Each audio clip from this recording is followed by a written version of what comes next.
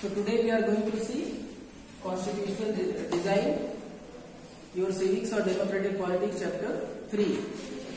The first point is discussion about democratic constitution in South Africa. We know that South Africa is a country where there is a mixture of white people and black people. Black people are the natives of that particular place. जो negroes जिनको हम कहते हैं as negroes we know them so these people are actually the natives of that particular country but what happens white people जैसे हमारे यहाँ Britishers आए colony बनाई, उसी तरह ब्रिटिशर्स वहाँ भी गए, वहाँ भी उन्होंने कॉलोनी बनाई। लेकिन हमारे यहाँ को ज़्यादा करके उन्होंने बिज़नेस पर्पज से ही काम किया रॉ मटेरियल एक्सट्रैक्शन के हिसाब से काम किया और अपने फिनिश फिनिश प्रोडक्ट के लिए यहाँ पर एक मार्केट बनाया। लेकिन साउथ अफ्रीका में क्या हुआ कि साउथ अफ्रीका में ये जो व्हाइट पीपल थे, ये बहुत सारे लोग वहाँ पर गए। They stay there they establish their houses there and after that they started ruling at local places wherever they establish their houses वहाँ वहाँ पर ये लोग क्या करने लगे? अपना स्टेब्लिशमेंट उन्होंने लिया और ब्लैक पीपल पर ये रूल करने लगे। यू नो नेल्सन मंडेला मैंने कहा था रीड कर लेना इसको एक बार तो थोड़ा क्लियर रहेगा आप लोगों को। He was in the jail for twenty more than twenty eight years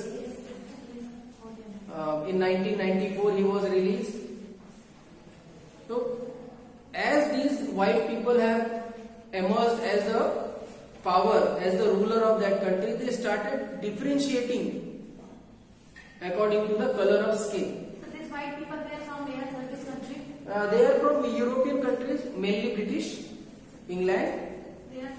Are. Uh, in history, you have read now. Once there was a time when uh, the sun of British Empire does not uh, sets actually. एक समय ऐसा था कि British empire का जो सन है वो कभी डूबता ही नहीं था क्योंकि पूरे विश्व में उनकी कॉलोनीज थी तो नॉर्दर्न हेमिस्फीयर में अगर डूबता था तो साउदर्न हेमिस्फीयर में सनराइज हो जाता था तो दोनों हेमिस्फीयर में उनकी कॉलोनीज थी they were having rules in so many countries so this is how they are actually captured the world at once ठीक है, उसके बाद धीरे धीरे जो फ्रीडम फाइट्स हुई, हर एक कंट्री में हुई, और वहाँ पर जो है, अमेरिका भी आप जानते हैं कि कोलंबस ने जब फाइंड आउट करना था उनको सी रूट तो वो सी रूट से घूमकर अमेरिको नाम की एक द्वीप पर चले गए, और वहाँ से फिर अमेरिका की खोज हुई। और अमेरिका की खोज के बाद में वहाँ पर ये लोग भी रहने लगे। वेस्ट इंडीज जो टीम आप देखते हैं इट इज़ इन अमेरिका जो वेस्ट इंडीज कंट्री है, वो अमेरिका है अमेरिका है. तो जो, वो वहाँ के नेटिव ट्राइब्स है. They are the tribes black people जो है, वो नेटिव है एक्चुअली तो इसी तरह यूरोप के कई जो यात्री थे या व्यापारी थे धीरे धीरे पूरे वर्ल्ड में गए और वहाँ पर उन्होंने अपना जो राज्य था, वो स्थापित किया. तो साउथ अफ्रीका में भी वही कंडीशन थी और व्हाइट और ब्लैक के बीच में वहाँ पर काफ़ी डिफ्रेंशिएशन था.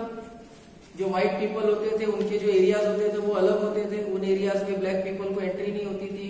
वहाँ पर एक, यहाँ पर एक आपको साइन बोर्ड भी लिखा हुआ दिया गया है। एक, है ना? एक कार्टून दिया गया है साइन बोर्ड दिया गया है। इसमें लिखा गया है कि नेटिव्स इंडियंस एंड कलर्स तो white people are white white ना? They are white as Hitler भी जो थे, वो इस तरह की पोजीशन में थे कि वो ज़्यादा करके ही वॉज़ थिंकिंग दैट कि जो हमारी कॉम है हमारी जो प्रजाति है वही आर्यंस है रियल आर्यंस है बाकी सबको जीने का हक नहीं है। They should be the we are the real Aryans ऐसा उनका मानना था और इसीलिए इतने लोगों को उन्होंने कॉन्सेंट्रेशन कैंप में मार दिया लाखों लोगों को इसीलिए कर दिया।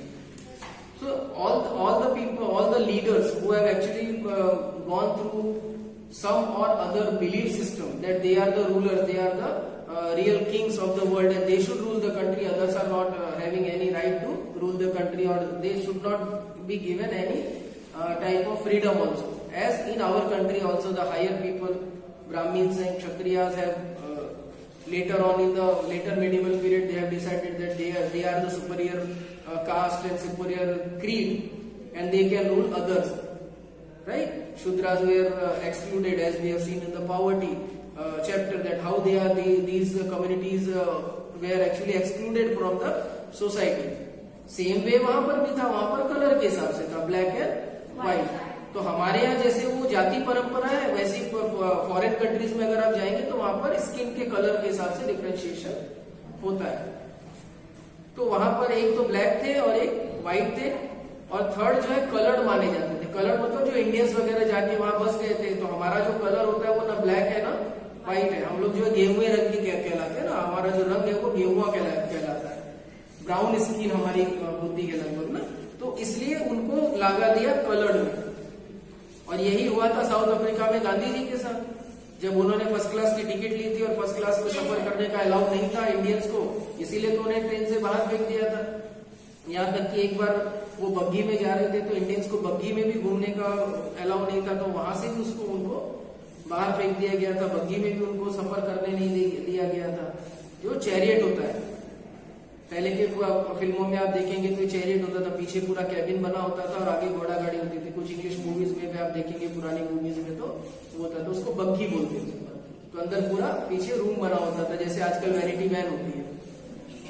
हाँ? बग्घी बोलते हैं उसका नाम। था घोड़ा बग्घी बोलते थे। तो पीछे पूरा कैबिन बना होता था। उसमें बैठकर लोग जाते थे। कई फ़िल्मों में आप देखेंगे तो उसमें ये सब चीज़ें बताएँगे तो this is how they are actually discriminating the black people and the coloured people in South Africa.